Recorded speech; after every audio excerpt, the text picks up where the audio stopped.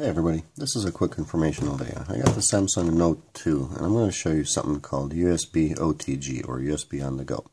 So this is a memory card adapter uh, and I'm going to put the memory card in here. This is actually made by Leef, uh, L-E-E-F.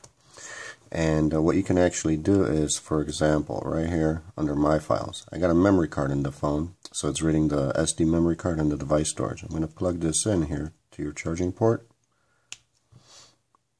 and it's going to start reading and USB connector connected. So now there we go.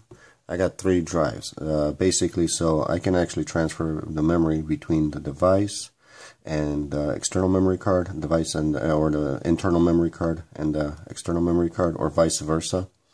Now they do have other ones like for example this is made by SanDisk.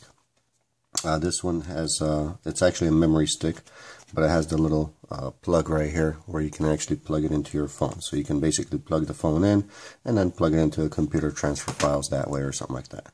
So the this device, basically the USB OTG, it's kind of cool. I mean, basically, uh, I can go to device storage and, you know, pick a folder and just move and move the entire folder to the, you know, this memory card. So it kind of makes it easier where you don't have to take out the memory card from the phone or something like that if you're putting everything on a specific card.